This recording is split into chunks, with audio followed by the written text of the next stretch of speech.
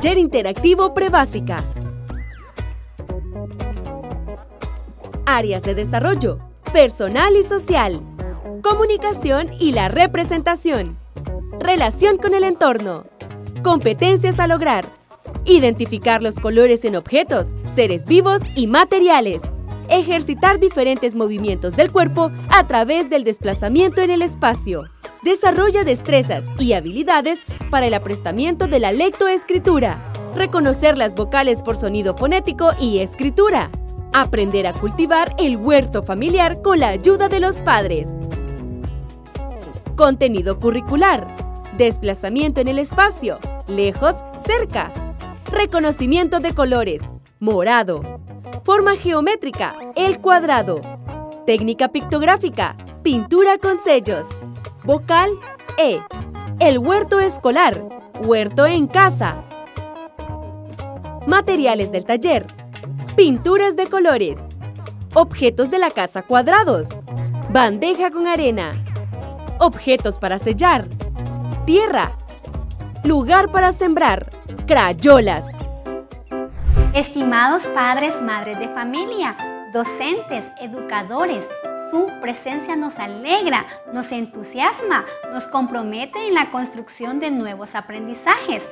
Pero lo más importante que logremos entre todos es que el niño y la niña sean felices. Para la presente semana desarrollaremos el taller Vamos a sembrar. ¿Qué sembramos? Curiosidad por nuevos aprendizajes, entusiasmo por aprender y alegría de compartir en familia. Soy Alicia Isabel Núñez y estoy muy feliz de compartir con ustedes el presente taller muy importante, acompañar en la realización de las actividades al niño y la niña. Y recuerden, respetando su ritmo de aprendizaje, iniciaremos en grande el taller. ¿Cómo lo haremos? Cantando una canción. Esta canción la canto yo dos veces. Ustedes escuchan. Así que vamos a cantar. Hola niños y niñas, ¿cómo están? Muy bien. Qué bueno poderte saludar, qué bien. Este es un aprendizaje que haremos tú y yo. Qué bueno poderte saludar. Muy bien.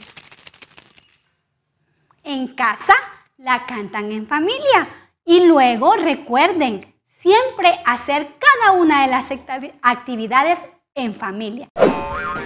A continuación realizaré algunos ejercicios de movimiento, de desplazamiento. Observen cómo lo realizo. Me desplazo cerca de la mesa. ¿Dónde? Cerca de la mesa. Ahora me voy a desplazar. ¿Dónde estoy? Muy cierto, estoy lejos de la mesa. En casa y en familia realicen actividad de desplazamiento aplicando el concepto cerca, lejos. Identifiquemos qué objetos tenemos cerca. Vamos a identificarlos. Yo tengo cerca la mesa, la silla, el cuaderno, el vaso y la toalla. ¿Ustedes ya identificaron ¿Qué objetos tienen cerca? ¿Pero qué objetos están lejos de mí? Una puerta, un árbol. ¡Qué lejos está! No lo puedo tocar. Y un río. Esos están también lejos. Pero escucho su sonido. ¡Qué bonito! ¿Ustedes ya identificaron qué objeto tienen lejos? Vamos a la mesa de trabajo. Observen lo que realizaré. En esta lámina colocaremos objetos que están cerca de la casa y objetos que están lejos de la casa. Ahora vamos a pegar y vamos a ver nuestra casa. Lo primero que haremos es ubicar la casa. Ya colocamos nuestra casa aquí. Ahora vamos a ver ¿Qué objetos están cerca de la casa? Vamos a colocar nuestro árbol.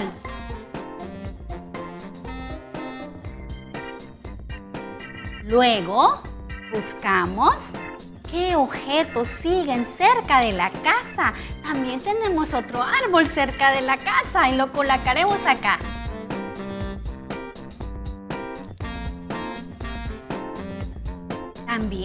Las flores.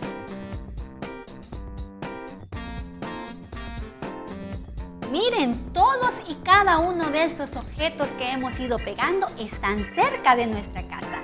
Tercero, objetos que están lejos de la casa. ¿Como cuáles podrían ser? Vamos a ver. Aquí tenemos unas montañas. Vamos a ver si estas montañas están lejos de la casa. Sí, estas montañas están lejos de la casa.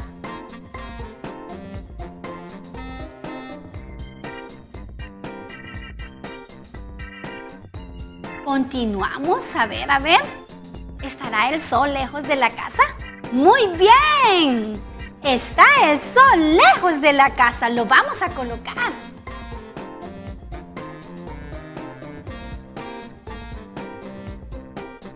También tenemos por aquí las nubes. Las nubes, al igual que las montañas y que el sol, están lejos de la casa.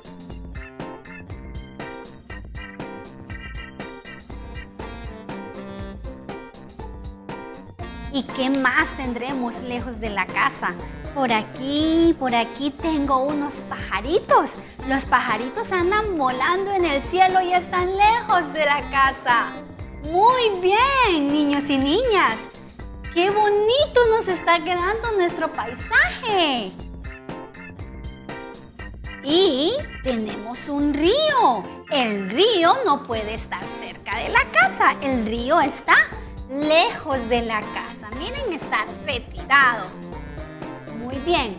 Repetimos los nombres de cada uno de los objetos que están cerca de la casa. Las mariposas están cerca de la casa. Los árboles están cerca de la casa.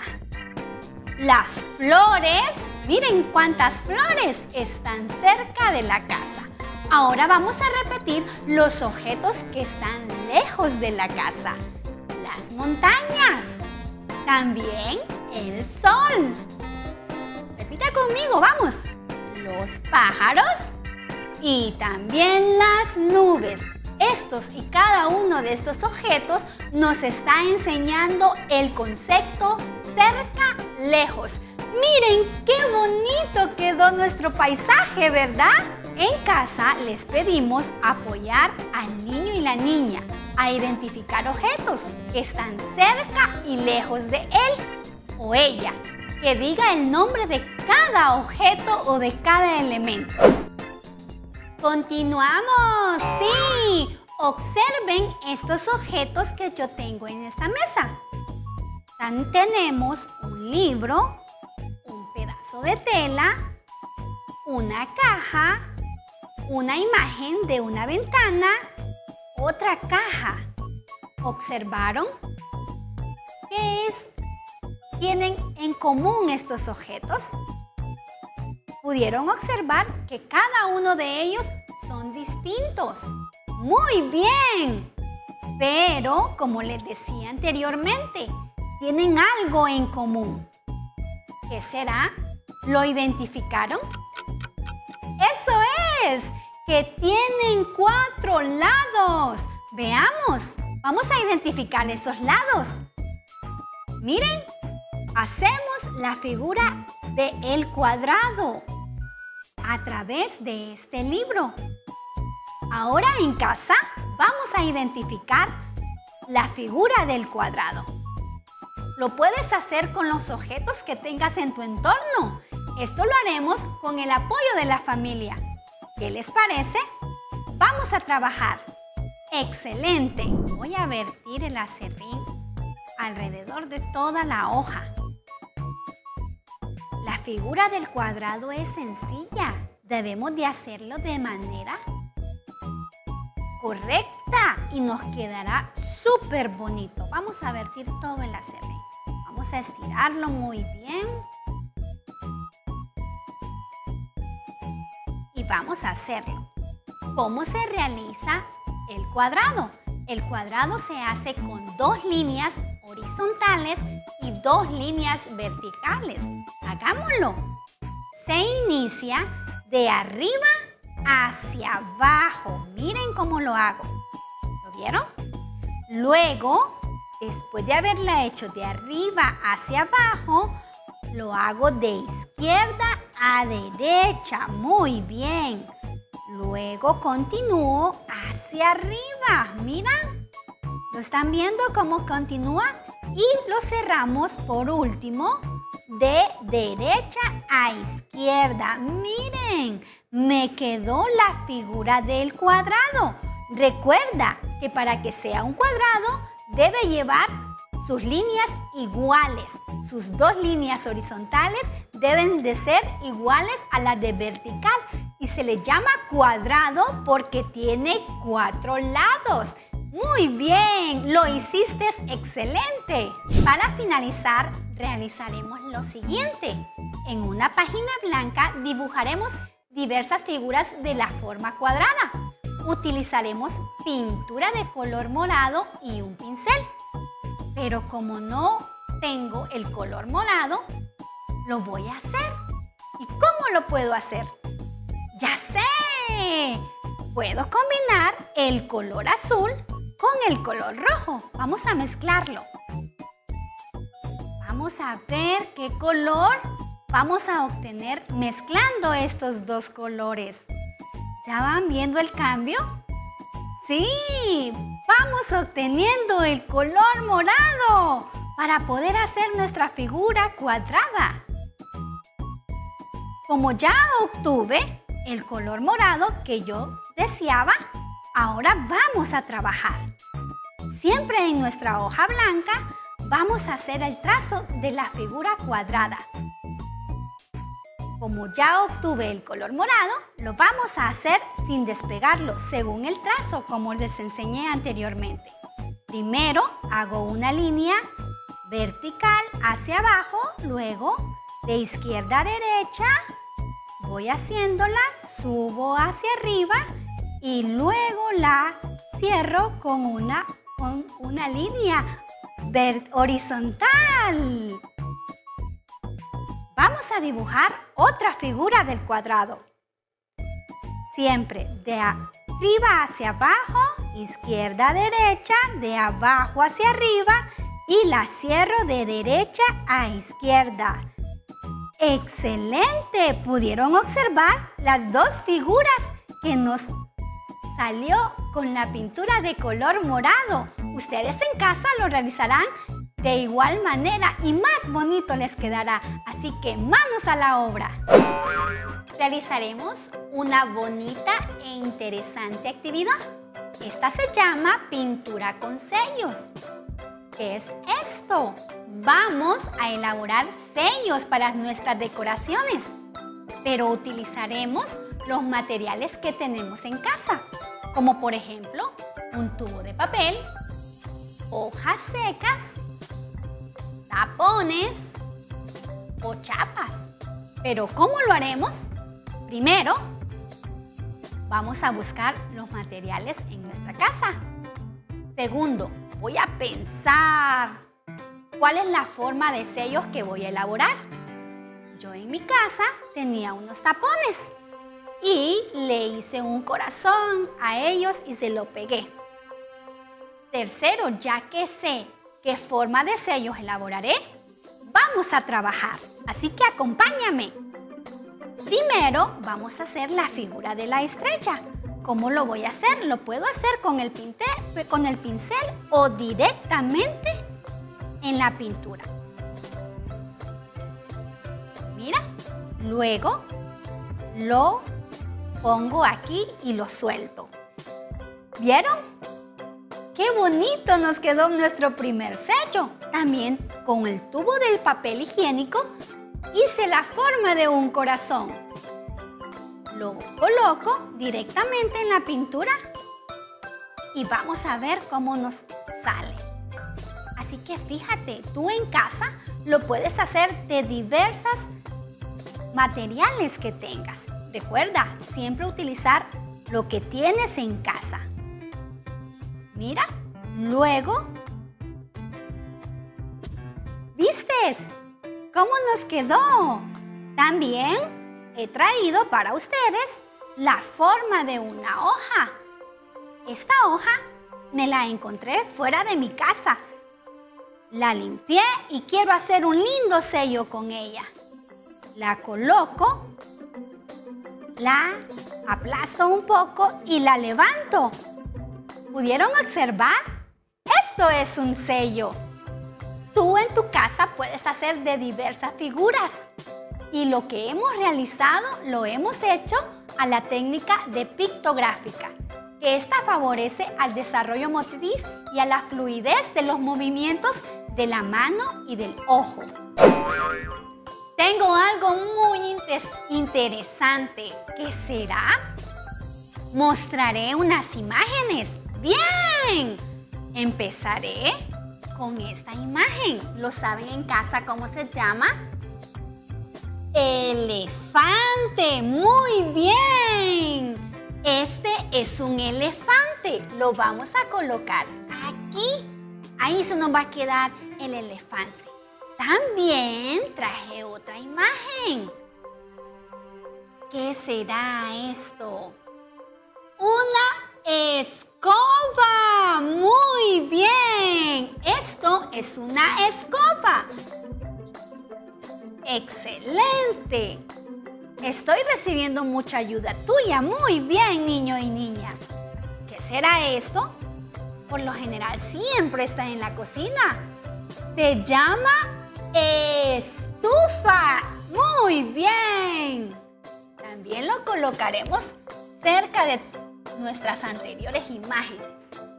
Coloqué elefante, escoba, estufa. Pero todavía tengo aún más. ¡Estrella! ¿A ustedes les gustan las estrellas? Yo sé que sí. Vamos a dejarlo por aquí a nuestra amiga Estrella. Mmm, también tenemos una niña y esta niña se llama Elena. Miren, Elena nos acompaña el día de hoy. Y por último, pero no menos importante, nos acompaña Enrique. Bien, muy bien. Ahora, ¿pueden observar lo que yo les presento? ¿Qué es? ¿Qué serán en común cada una de esas imágenes? Muy bien, que es la vocal E. ¿Repetimos? ¿Repetimos cada una de estas imágenes? ¡Excelente! Elefante. Escoba. Estufa. Estrella. Elena. Enrique. ¿Se fijan? Que el nombre de las imágenes inicia con la vocal E. ¿Cuál es el sonido de la vocal E? A ver, yo sé que ustedes lo saben desde casa. Repita conmigo. E. Esta es la vocal E.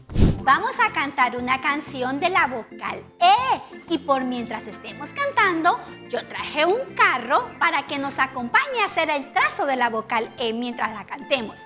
La E suena E. La E suena E. Estrella, estrella, la E suena E. La E suena E. La E suena E. Escoba, escoba, la E suena E. La E suena E. La E suena E. Estufa, estufa, la E suena E. ¿Lo vieron? ¿Vieron que hicimos el trazo de la letra E? Recuerda, esta es la E mayúscula y esta es la E minúscula. ¿Qué les parece si realizamos su trazo? Bien, es divertido. Observe. Vierto el acerrín en esta hoja de papel También puedes utilizar tierra, arena, azúcar o sal, lo que tengas en tu casa para poder trazar la letra E. Extendemos nuestro acerrín en toda la hoja para poder hacer el trazo de la letra E. Recuerda, vamos a utilizar nuestros deditos y lo vamos a hacer de la forma correcta. Primero vamos a hacer la línea vertical de arriba hacia abajo. Observa. Muy bien, ¿vistes? Luego que hemos hecho la línea vertical de arriba hacia abajo, hago una línea horizontal de izquierda a derecha en la parte superior de la línea que hicimos vertical. Después hacemos una línea horizontal también. Esta va en medio y la también partimos de izquierda a derecha. Y por último, hacemos al final de la línea otra línea horizontal de izquierda a derecha. Miren, ya nos salió la E mayúscula, pero nos hace falta la E minúscula. Para realizar la E minúscula la hacemos de la siguiente manera.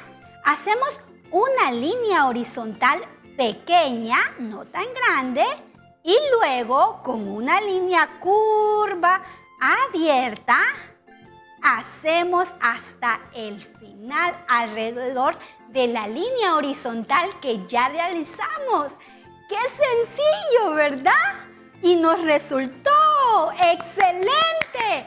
En su cuaderno de trabajo, allí en casa, puedes realizar el trazo de la vocal E siguiendo la indicación que yo te acabo de mencionar. Familia, ha llegado un momento muy especial. ¿Qué será? Vamos a sembrar en casa. Pueden sembrar pepinos, rábanos, lechuga, culantro. Si tenemos un espacio más grande, podemos sembrar limones, naranjas, mangos, frijoles, maíz, pero también flores. ¡Qué bien! ¿Cómo lo haremos? De la siguiente manera. Buscaremos un lugar para la siembra. Una macetera, una caja de madera o un espacio en nuestra casa. Yo lo realizaré en esta macetera. Sembraré semillas de chile. ¡Qué rico y nutritivo condimento para nuestras comidas! Ahora vamos a sembrar. Primero preparamos la tierra. Vamos a prepararla. Le echamos un poco de agua porque nuestra tierra tiene que estar húmeda con nuestros dedos o con la ayuda de un palo, una palita, lo que tengas en tu casa, vas a hacer unos agujeros un poco profundos. Y vamos a colocar las semillas. Como mis semillas son de chile, yo voy a echar varias en mi macetera. Porque yo creo, quiero que crezca muy rápido y bonita. Así que tú puedes utilizar la semilla que tengas en casa. Luego de haber echado las semillas debajo de la tierra, vamos a cubrirlas. Nuestras semillas tienen que quedar completamente cubiertas. Si la siembra se realizó en una macetera o en una caja de madera, debemos colocarla en un lugar que sea ventilado para que reciba un poco de sol. La siembra realizada necesita cuidado, cariño, para que pueda crecer y fuerte. Padre, madre de familia, tutor, acompañen diariamente al niño y la niña para que observe el crecimiento de lo que sembraron. Motívelo a la bonita e interesante actividad de sembrar plantas y que debe cuidarlas. Ellas son parte fundamental de nuestra vida. Hemos llegado al final del taller. Se les invita a seguir la transmisión durante toda la semana. Padres, madres de familia y tutores, responsables, docentes educadores, recuerden inculcar en nuestros niños y niñas los valores, ya que son parte muy importante. Permite que formemos ciudadanos y ciudadanas con principios. El valor es el orden. Su importancia radica en que nos permite ser responsables, eficientes, productivos y organizados.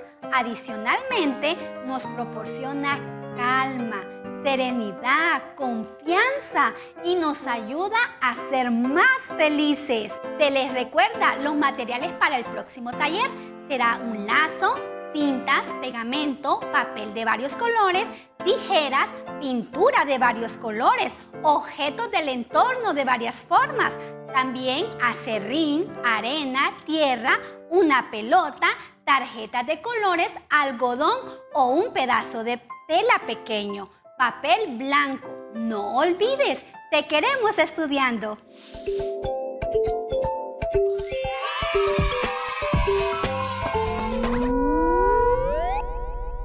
Espera cada semana un taller interactivo para prebásica, de lunes a viernes a las 10 de la mañana y 3 de la tarde, por STV Telebásica 1.